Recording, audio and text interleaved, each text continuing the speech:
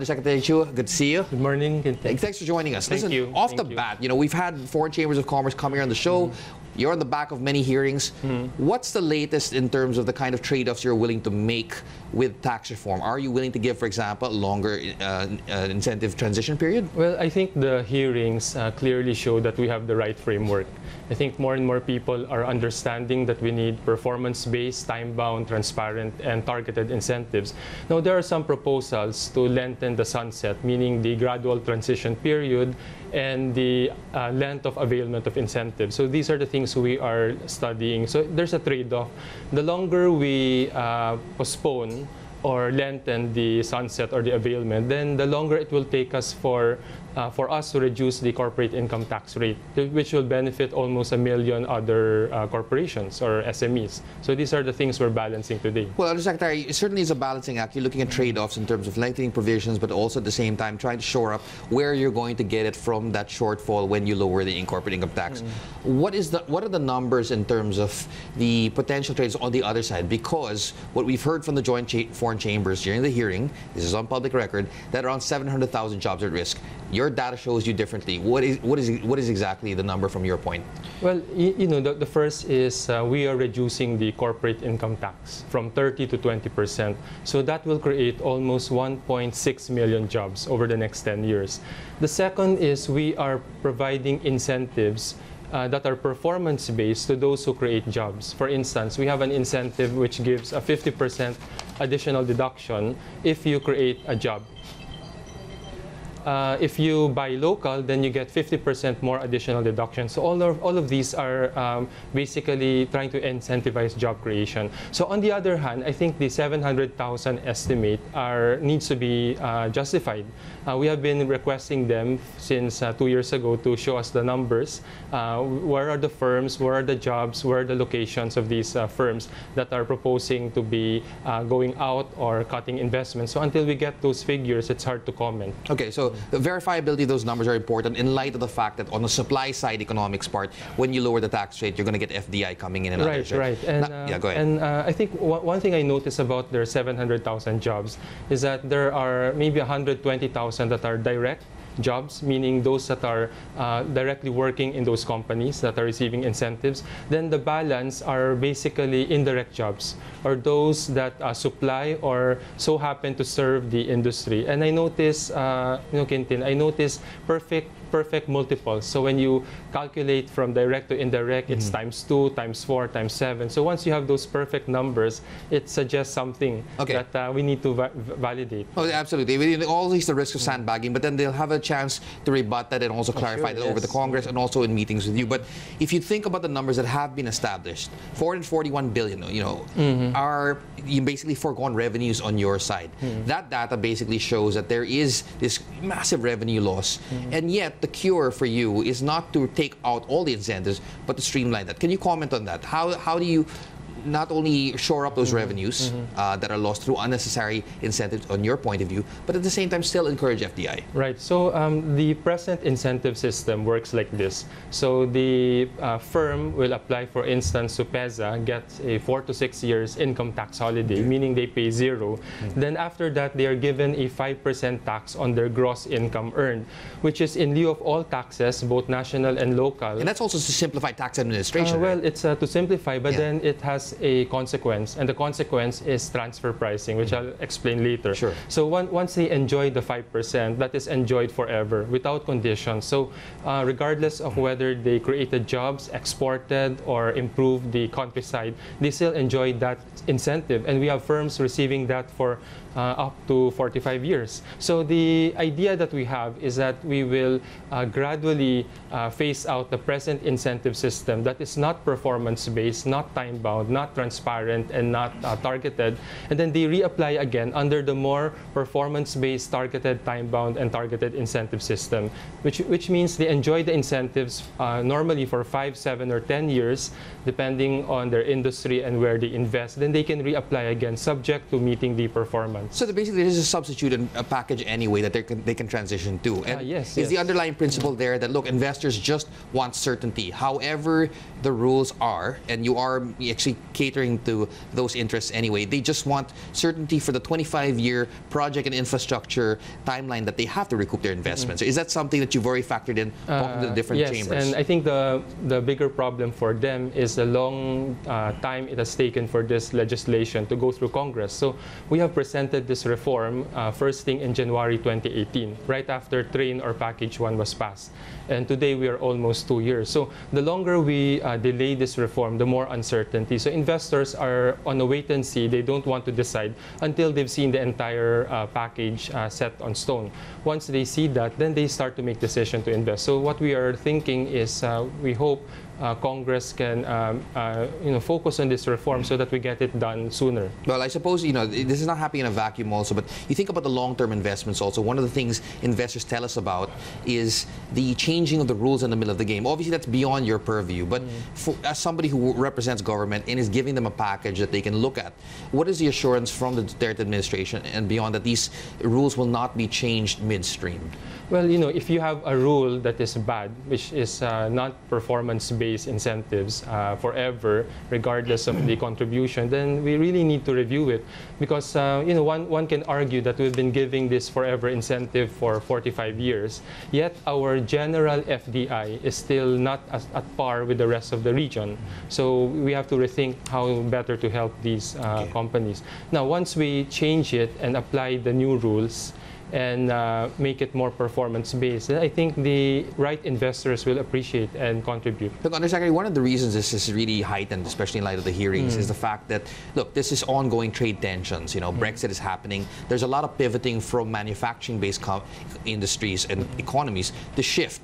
And the ones who have the better regulatory regime, let's say Vietnam or the others, are going to get the lion's share of the investments. How net of Congress's timetable, are you going to convince these investors that look, this is going to help our domestic finance, but at the same time, make your investment work in this country? But I think uh, we presented the tax reform not in isolation. We presented a 10 point socioeconomic agenda to address all the problems that investors face uh, when they come to the Philippines. So, what, what have we achieved? Uh, number one, we have maintained macroeconomic stability and even strengthened it. We have a credit rating upgrade that uh, testified to that. Second is we have the Build, Build, Build program. Uh, it's an 8 trillion program over the medium term, but we have spent almost 900 billion last year. That's three times higher than the average in the last 10 years. Number three, we have ease of doing business law that addresses the red tape and bureaucracy of dealing with the government. Number four, we pass rice tariffication, which basically lowers the pressure to uh, increase labor costs. So all of these uh, are also important uh, elements that investors are looking, which were not present in previous uh, rationalization. Well, certainly a systemic reforms. thing, and it, it calls for interagency coordination. Now, I don't want to bring this up. I'd be remiss not to bring this up. I mean, we've reported this in the press already. You've, there seems to be some uh, disconnect there when it comes to these app- application of incentives, and part of it is also the function of the fact that there are multiple agencies Yes, and offices yes. doing this. Having said that, when you think about the tension that we reported last week, Director General Plaza really, you know, speaking on behalf of the locators there, that's a valid concern, isn't it? Mm-hmm. But what does the data tell you in terms of assuring, you know, someone who's trying to bring in investors that they will come, notwithstanding mm-hmm. this change? Well, you know, if one reads the CITIRA bill closely, we are only amending two provisions mm-hmm. of the 13 charters of the investment promotion agencies like PEZA or BOI. Number one is the incentive package.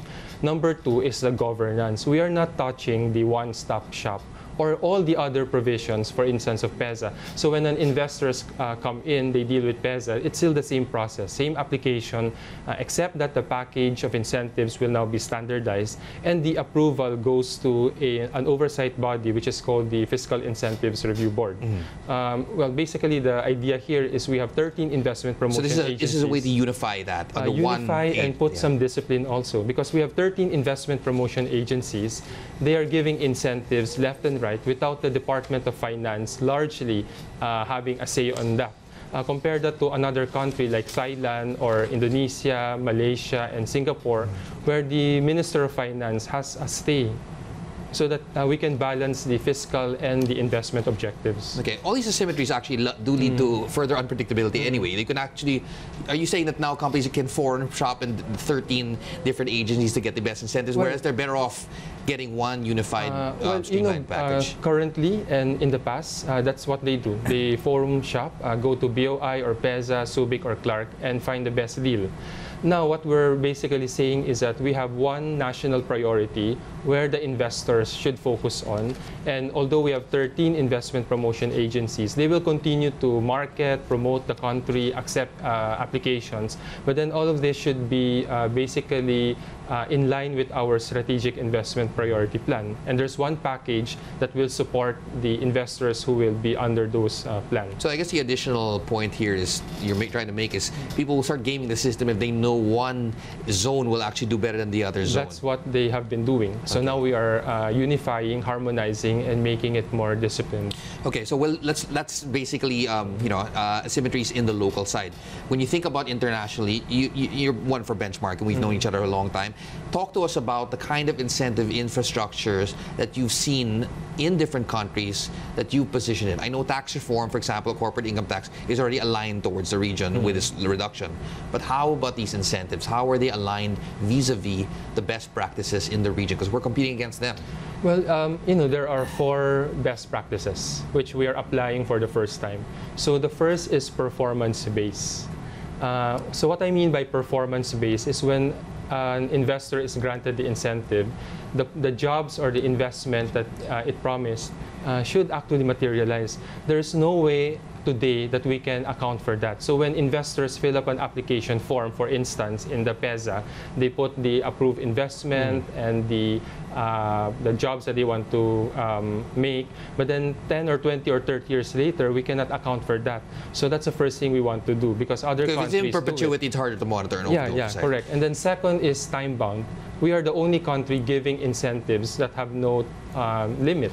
The, the, the longest that I've seen is uh, uh, 40 years in the region, but that's for very special firms. Sure. The average is more like 10 to 15 years. So we are aligning towards that. That's why CITIRA has 5 to 19 years uh, based on the House version. And it looks like, you know, from the matrix uh, that you showed us, and we'll, we'll show that later in the program, is you seem to be aligning with the best practices in terms of countries who are trying to bring in more manufacturing. I, I note that some of the incentives have been aligned, for example, with Thailand and Singapore. It was that the intention to look at these, you know, these nice, you know, benchmarks out there and say we can align or even do better with them. Let's talk about, for example, looking at Uh, right, Singapore right, and yes. Thailand, uh, or even Vietnam. How do we how do we compare to them? Well, uh, let, let me connect that to my previous um, uh, point about uh, the best practice. So the, the third one is targeted.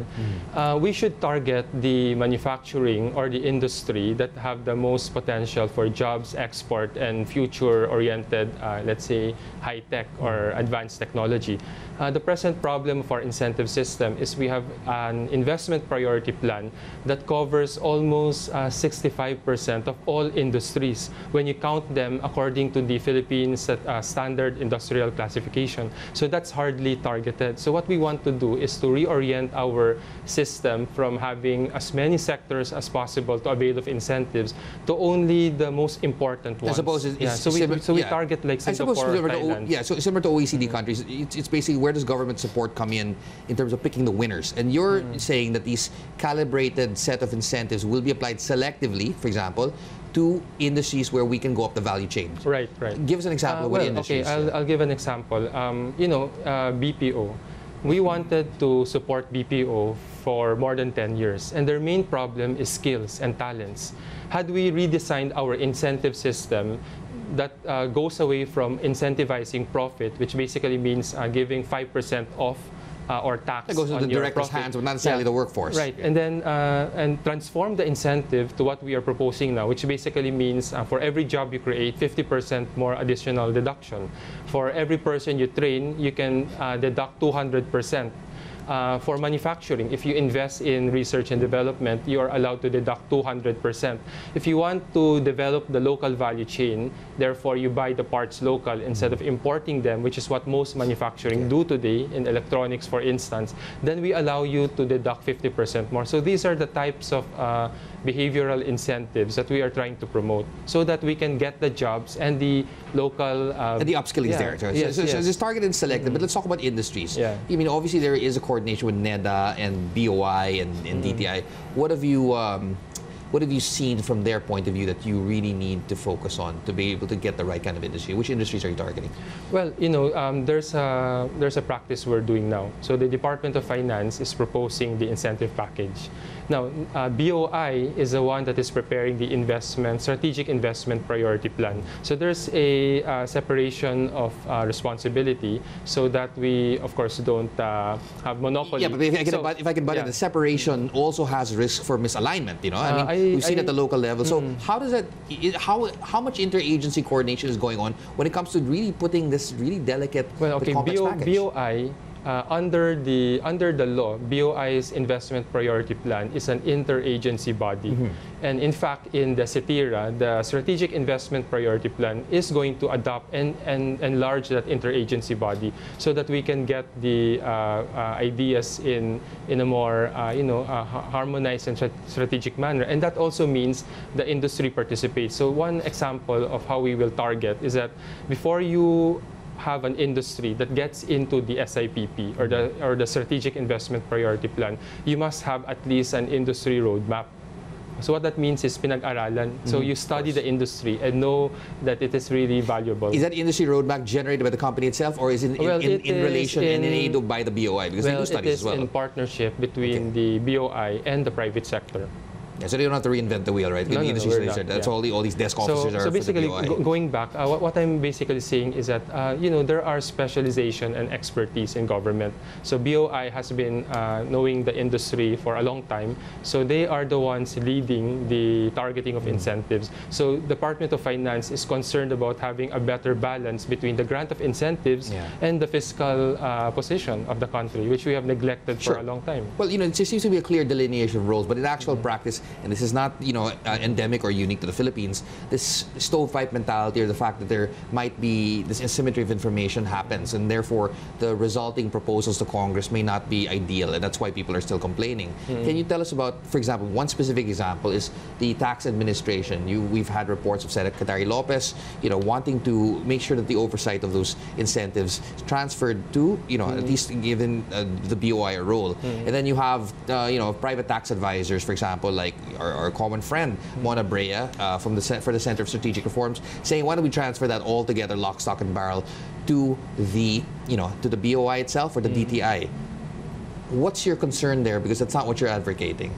Well, you know, uh, what we are advocating is a system wherein the FIRB, or the Fiscal Incentives Review Board, will serve as the oversight of all the 13 investment promotion agencies and the approval of the incentive.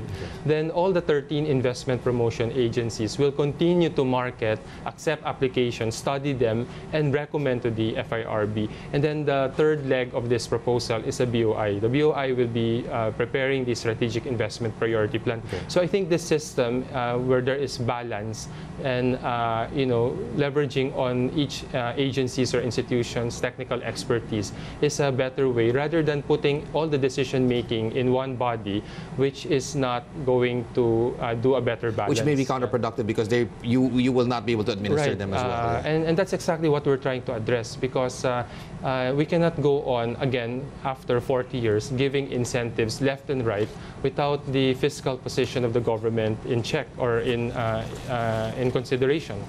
Now, the, the fourth um, uh, best practice I wanted to co- connect with this discussion is transparency. Until today, we cannot tell the public who got incentive, how much, and what benefit they provided the country. So, although we have this nice law, which is the TIMTA law, which means Tax in- Investment Management Transparency Act, uh, approved in 2015, we are able to have a general picture of the total cost of incentives. That's the 441 billion that we granted in 2017. But beyond that, unlike Thailand, for instance, we cannot uh, scrutinize it further. Well, I've actually public. gone through Yeah. the IRR of TIMTA, and basically the key figures you're looking at, the key uh, performance areas, exports, Mm. jobs, and you know, uh, actual direct investments. That's not included in terms of their compliance reporting. Uh, is it? no, uh, in fact, in TIMTA, what the law says is uh, benefit data like jobs or exports or investment are only submitted at the industry level.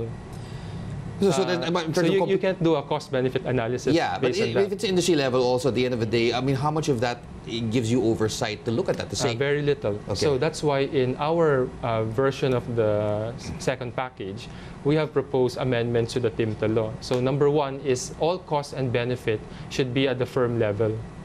Uh, so that we can match and do a cost benefit yeah, because it seems like it'll analysis. be a black box if everybody just Mm-hmm. Right. shoves it in and doesn't know which particular firm is contributing what. Correct, correct. And the second is we are proposing that the entire data set be made available for Congress or the public to look.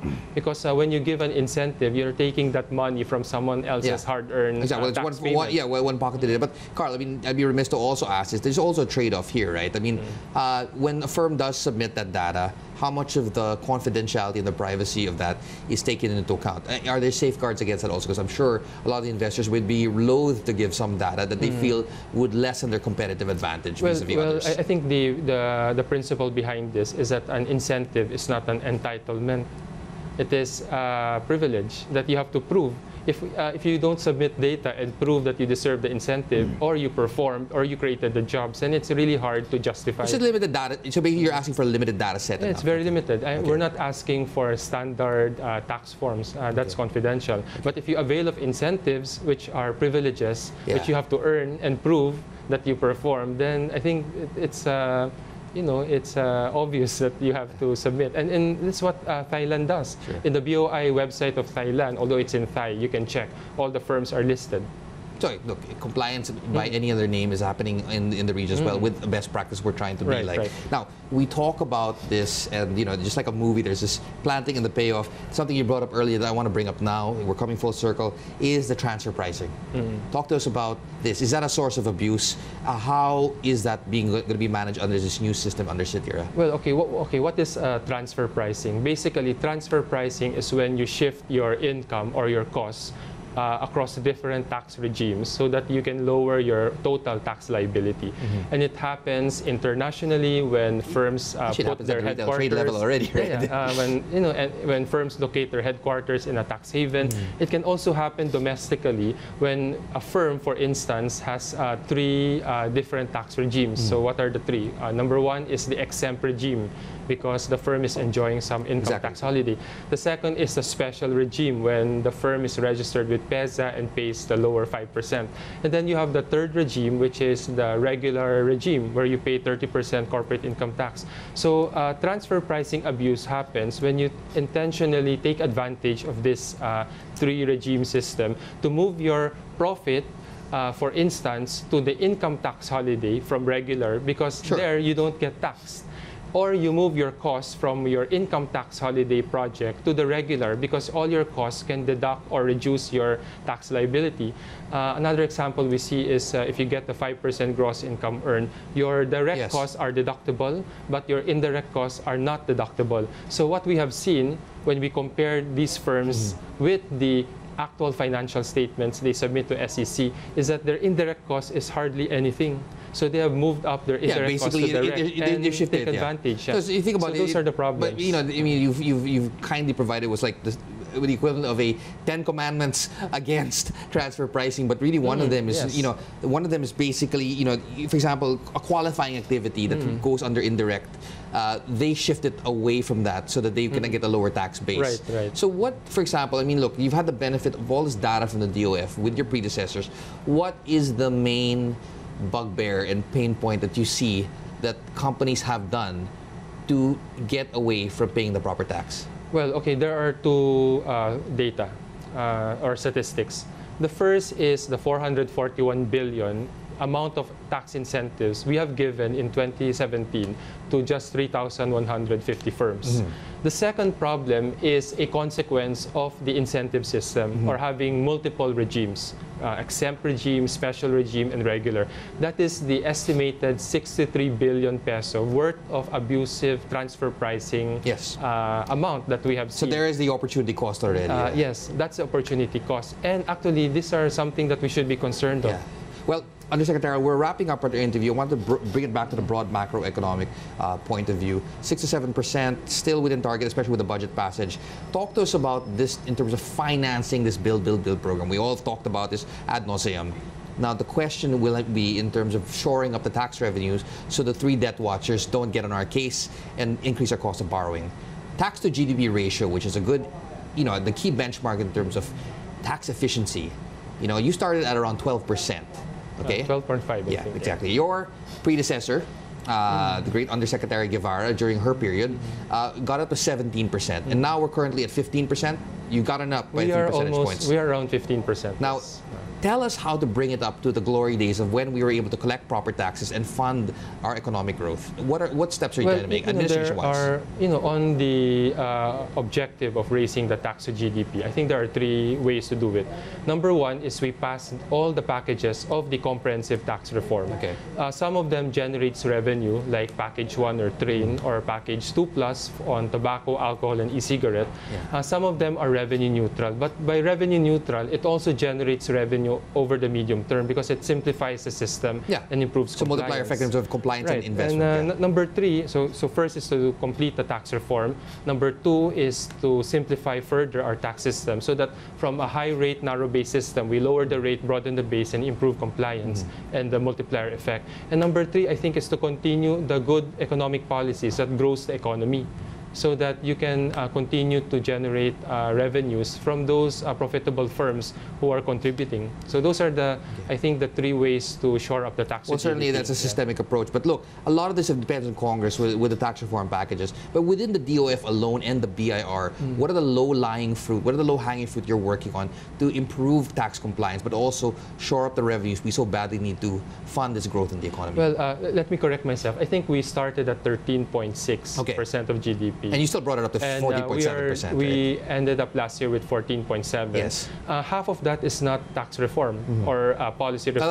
half of that was right? administrative procedures, uh, basically improving collection efficiency. There is Yeah. a digital transformation project Okay. in the BIR, so making it more uh, seamless to transact. So these are uh, two parallel tracks that we are uh, doing right now to shore up the tax to GDP. Well, certainly, I mean, that's low-lying fruit, something within your power to do. And at the end of the day, like, it's a systemic thing. You've got a yeoman's job ahead of you, you and your team. Uh, thank you very much.